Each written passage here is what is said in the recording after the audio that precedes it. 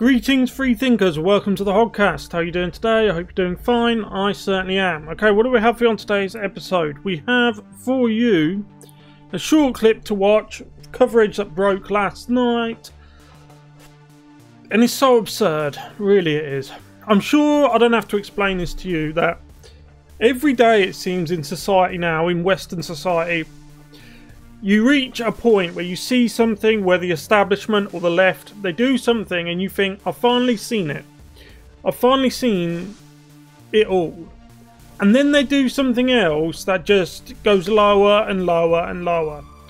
Eric Fartwell Eric Swalwell is suing Trump President Trump former President Trump for emotional distress is that not proof from the horse's mouth or the um, Fartwell's anus that this man, President Trump, lives in the heads of Democrats to the point where they're trying to actually make him responsible for it.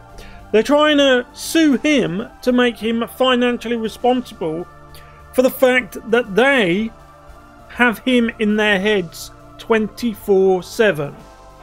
This is what happens when people are allowed to fail upwards. It's always someone else's fault. Always. That's something you get with participation trophies, with people who fail upwards, fail upwards, like liberals tend to do. In the public sector, especially, they just fail upwards, and the more they fail, the more they skyrocket. And now you end up with situations like this. So let's get into this clip. But if you haven't yet, Please like the video, subscribe to the channel, hit the notification bell, just put notifications on all. It should hopefully notify you when I upload. And share this around to social media. There's share buttons down there that can just paste it to your social media. I need that now more than ever because this channel has been sectioned off, shadow banned, demonetized like a lot of other independent commentary channels because they don't want you talking about ordinary things. Okay, let's go. Okay, so let's get into this. Happening. Anyway, Swalwell can't get enough of President Trump. Just can't get enough. That's right. California Congressman Eric Swalwell is suing President Trump in an attempt to hold him financially responsible for the January 6th riot. Now, Swalwell accusing the president of terrorizing lawmakers and causing him emotional distress. The civil suit also named. Sorry to interrupt so quickly, but the Democrat politicians are the people who actually tweeted out and retweeted the bail funds, the GoFundMe funds for the Antifa and BLM rioters who rioted across the United States. Los Angeles, Kenosha, Minneapolis, and the entirety of downtown Minneapolis was looted and burnt out. The same for Kenosha. We had riots in Los Angeles, Seattle, Portland. They're still going on in Seattle and Portland. And the bail funds for those who didn't get their charges dropped, which most of them did by DAs who share the far left uh, ideology, they shared the bail funds. So what about all those people who lost their livelihoods, were burnt out of their homes, their family businesses? Because of the actions of the likes of Kamala Harris and Eric Fartwell. Maybe there should be a class action lawsuit against Fartwell the president's son, Donald Trump Jr., Rudy Giuliani, and Congressman Mo Brooks, all who spoke at the January 6th rally. A Trump senior advisor, Jason Miller, ripping it. So, speaking at a rally means that you can be um, sued. That's the future the Democrats want. But only for you, not for them. Swalwell in a statement to Fox News calling him a lowlife with no credibility who got caught dating a Chinese spy. So them definitely fighting words. Yeah, Carly, what's... They're truthful words, right? This is a man who is still on, I believe, intelligence committees, who was for a long time sleeping with a actual Chinese spy. This isn't, oh, my Russia, my Russia, my Russia or anything like that. All of the ridiculous stuff the Democrats do when they say, look over there, look at Russia. Don't look at China, look at Russia. It's smoke and mirrors. This ain't that. The lady in question, I can't remember her name, is a bona fide Chinese spy. And if Chinese spies were parasites, saying they were head lice, right? The Democrat Party is covered in lice. Have you seen all these photos? And there'll be Chinese aides here. Chinese, an aide attached to this Democrat politician, an aide attached to them there. They're all over the place. Only on one side of the aisle. And you have to ask, who's the real threat here? Russia or China? What's the latest on that of him going around with a spy? We still haven't gotten any briefing on that or anything. Yeah, and I think that this lawsuit is definitely. A- See this photo of Eric Swalwell? He's wearing that mask so he doesn't have to smell in his own farts because, you know, he almost took off when he farted last time. I mean, literally, you saw him kind of get a bit of lift. He kind of propelled himself upwards a bit a long shot considering you can always make that free speech claim. It seems like this is more about Eric Swalwell getting some points in the media and getting. Well, you can't always make the free speech claim. We can and have been able to for a long time, but that's coming to a close. The age of free speech is coming to a close because the people who have nefarious um, objectives that they want to instill in the lives of you and me they require a society where free speech is non existent, right? Free speech cannot be allowed when the plans of evil people are in motion, right?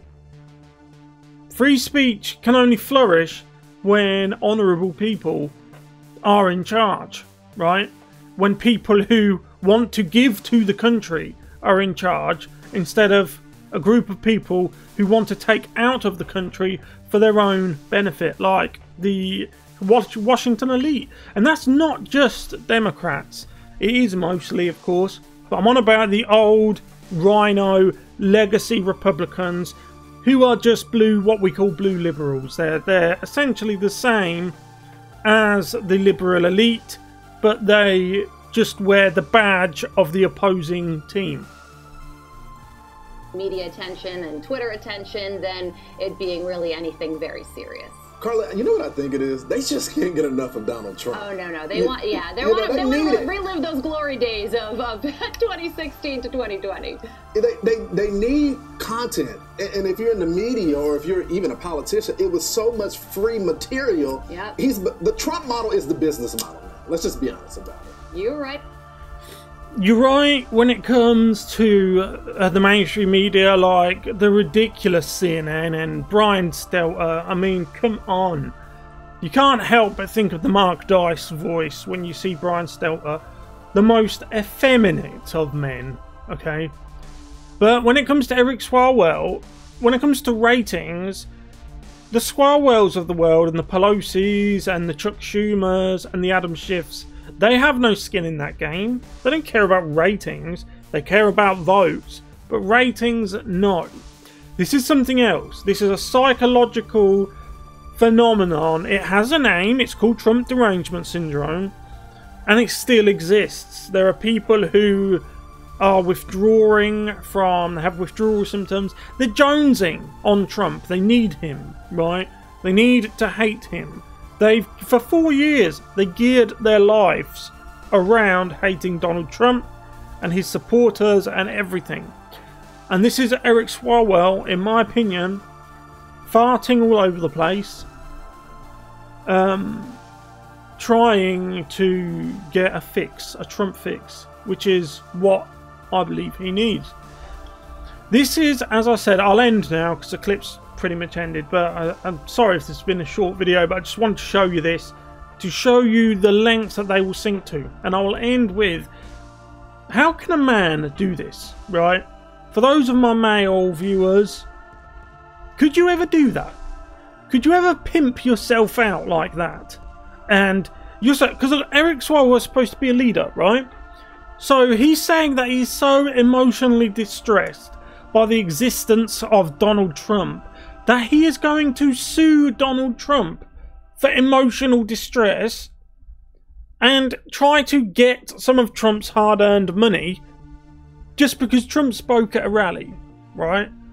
How pathetic does that make you look as a man and as a so-called leader, which all elected representatives are supposed to be? They're supposed to be leaders for their little area of the country, their little congregation.